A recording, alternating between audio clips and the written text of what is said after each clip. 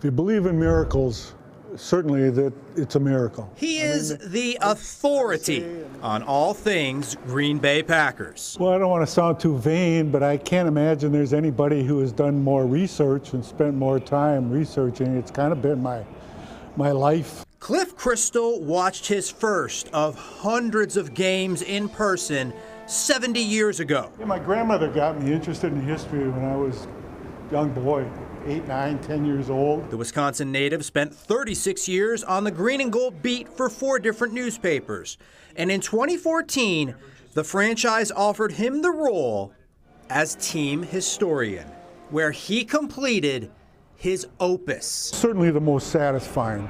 The greatest story in sports, cramming 100 years of history into a four volume, thousand plus pages of print. The completion of it was a dream come true. Been involved in other projects that I found challenging and interesting, but nothing like this.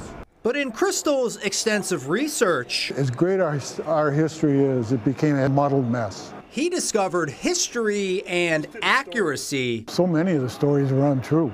don't necessarily go hand in hand. I mean, for example, the G, our G logo, is not the original G. It was changed in the late 1960s.